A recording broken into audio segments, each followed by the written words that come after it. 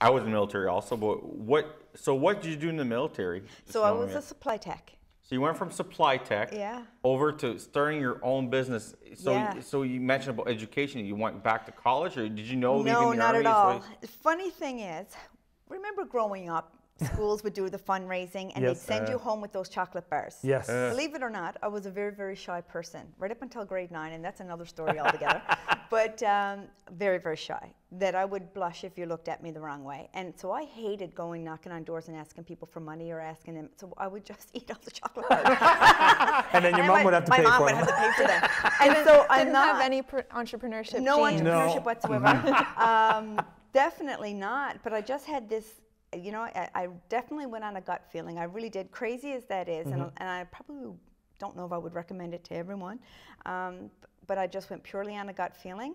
Um, while I was, uh, when I left the military, I was actually contacted by uh, the Prince's Operation Entrepreneurship, which is one of the charities by Prince Charles and it actually assists military members who are thinking about going into entrepreneurship. um, cool. So I attended their Based in Business Boot Camp uh, program. I did the day one, which at the time was in Ottawa. So I went to Ottawa to Carleton University, I believe it was held at for that day. And then they take, I believe it was 24 people they take during their um, summer intake. That's done at, all over Canada at certain universities.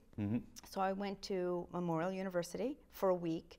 Um, and the neat thing about it is the professors, because it's based in the summertime, so the professors actually volunteer their time, business, it's a the business program at MUN, and students who are in their fourth year business program. So they all volunteer their time for that. So eh, I was already quite a f- far along in my stage. I mean, we already had started um, the renovations on the building, and we already had a business plan months before. But some other people were at different stages. Some Yes. weren't totally at the military yet.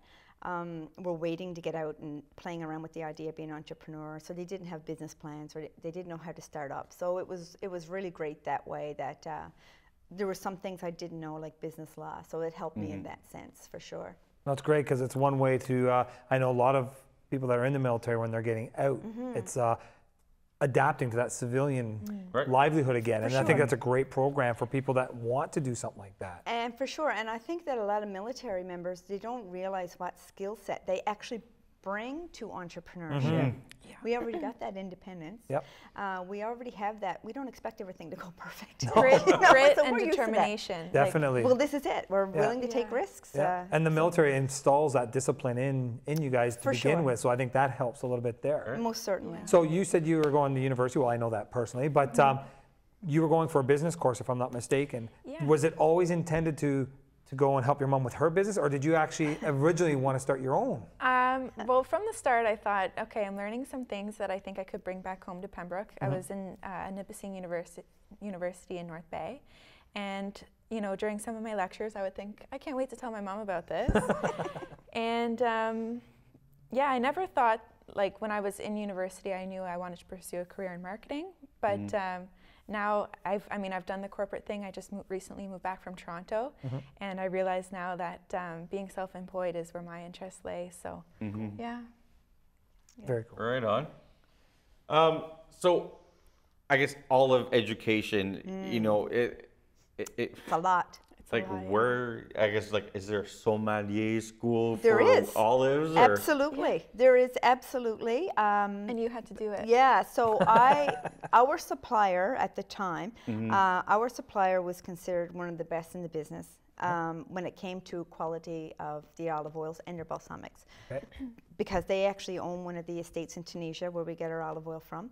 Um, all the flavored olive oils in our shop are all from Tunisia.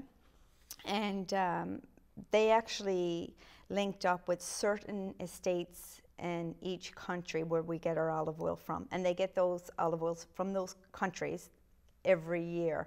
Um, they don't change. They have a relationship with those people. So I actually attended that, but in 2017, I believe, I went to University of California, Davis, and I did their um, weekend-long um, sommelier tasting actually course, uh, sensory evaluation actually, which every day from nine o'clock till 4:30 we drank olive oil.